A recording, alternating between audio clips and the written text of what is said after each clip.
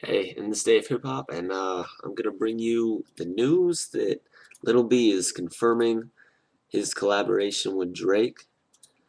Um, he tweeted last Thursday, "I want to work with the Based God again. He is the only one I heard rumors the Based God will be working with Drake." and and yeah, it's crazy.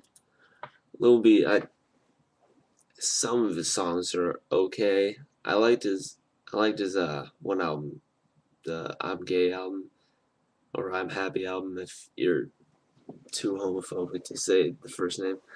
But uh, I like that one. A lot of people said that that one wasn't as good and his other music is nice, but I really like the songs he does with uh, Clams Casino.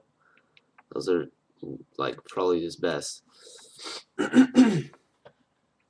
but yeah, if you want to read the rest of the article, the link's inside the description. And uh, let's just hope this thing comes out as a banger and not like uh, Saint Grove Party. Is that what?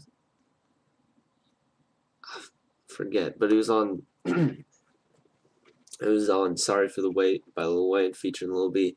Let's hope it doesn't end up like that because, gosh, he got so much hate for that. It was funny because a lot of people were saying that he he was bad. A lot of people were saying like, "Oh, he's just kidding." I really don't know what to believe, but um, yeah. The rest of the article is inside the description.